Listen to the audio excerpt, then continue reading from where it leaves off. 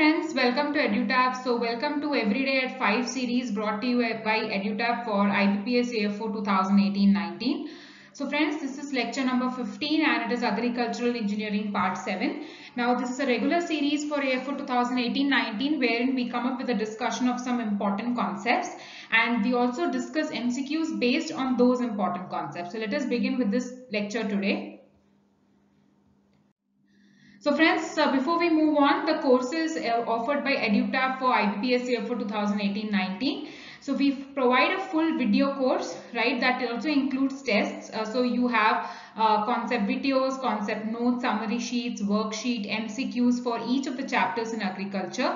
Plus, along with that, you would also get 25 full-length mock tests and 25 sectional tests. Now, this particular course can be bought for a price of rupees 2499 for a limited period. We also offer separate test series which includes 25 full-length mock tests and 25 sectional tests along with detailed PDF solutions. This particular course can be bought for rupees 1499.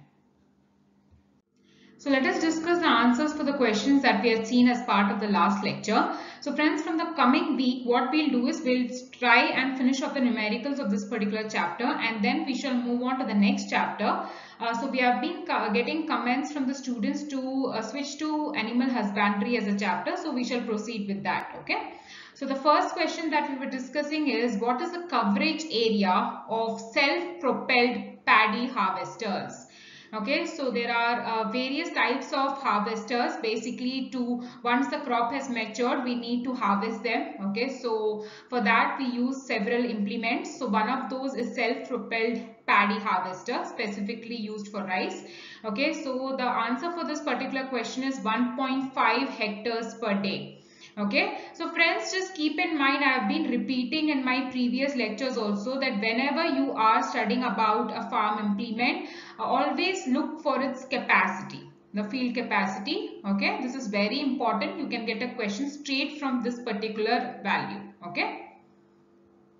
Next, the question was, uh, what is the harvesting capacity of a self-propelled citrus harvester?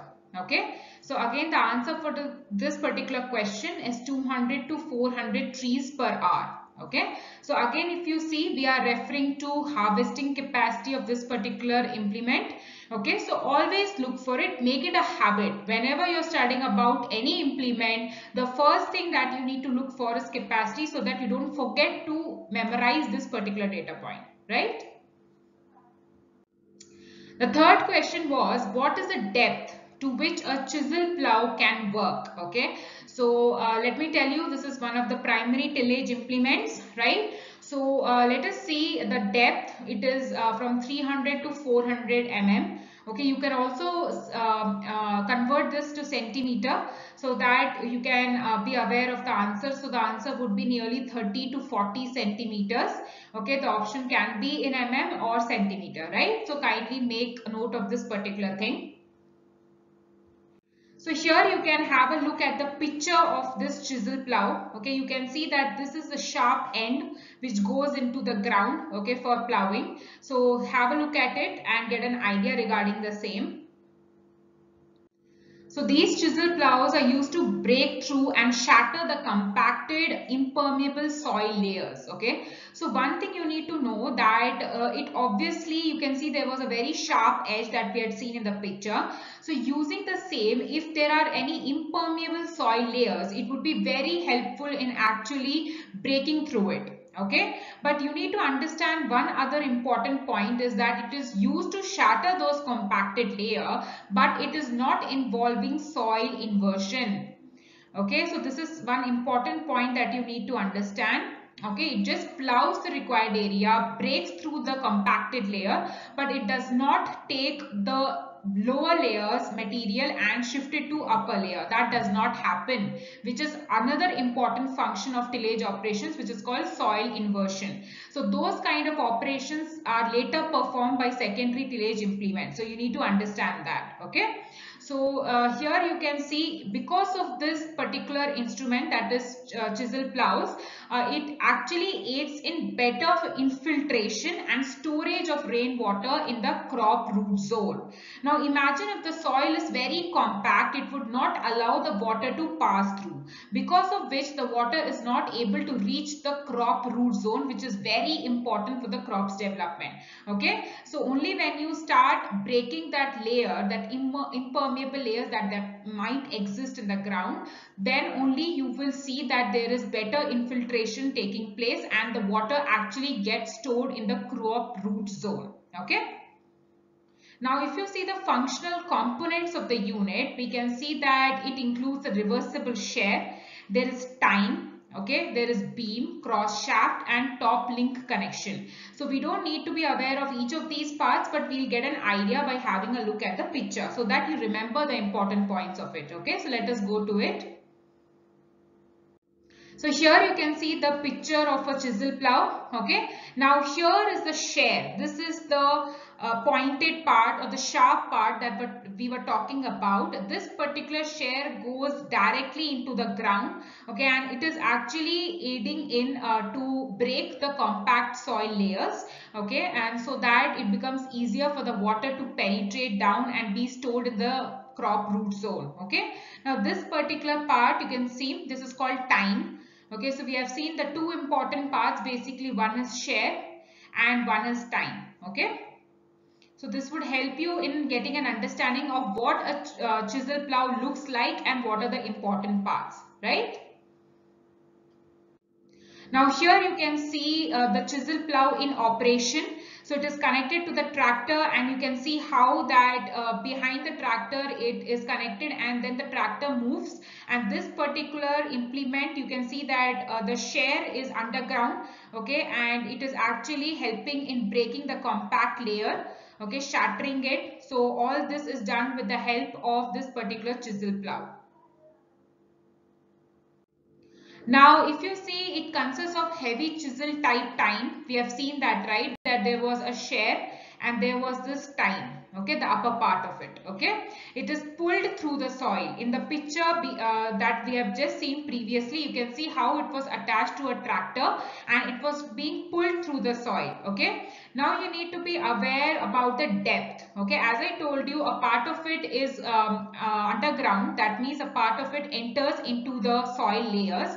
So there is a depth up to which it would do so okay? So you need to know what is that depth. That was the question regarding it is uh, nearly up to a depth of 40 centimeter. So we have seen that it works well at a depth of 30 to 40 centimeter. And usually if you compare the conventional plowing that, uh, that we do, it is actually at a lesser depth when you compare chisel plow. Okay, that is why we say that it also helps in bursting up the underlying layers of the soil. Okay, and as I told you, one very important point, it does so without bringing the subsoil to the surface. That means you need to understand that inversion is not taking place so it would just reach to a particular depth and shatter or make the layer actually loose. That's it. Okay. It is not going to bring that particular material of the lower layers to the upper layer. That is not done. Okay. Now this share part that we were just seeing, it has a tilt angle of 20 degree. So you can see it is not straight like this. There's an angle to which it is tilted. Okay, so that particular lift angle is 20 degrees. Okay, and uh, you can see that the coverage is 0.42 hectare per hour okay this also you can make note of okay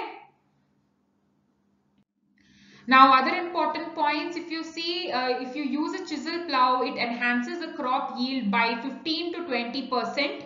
Now you need to understand how this is achieved. The one thing that we were discussing previously was that if you are using this uh, implement properly, uh, the compact layer gets broken down and because of that there is better infiltration of water into the crop root zone. And again the plant would develop well when there is sufficient amount of water for it to use, right? And it is easily operated by any 35 to 45 horsepower tractor. We also saw in picture that how it is attached to a tractor and it is being pulled through along the surface area. Okay. So friends, the last question that we were discussing in the previous lecture was which of these crops is most difficult to transplant, okay?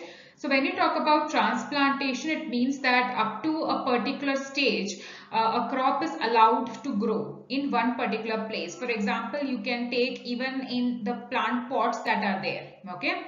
Now after that what they are done is from that particular area that particular plant or a crop is uprooted and then planted in a bigger area or a field where similar kind of plants exist. Okay. Now why are you doing this transplanting? Already you have actually germinated them in a particular area. Now why do you want to shift them and take them to a different uh, patch of a land?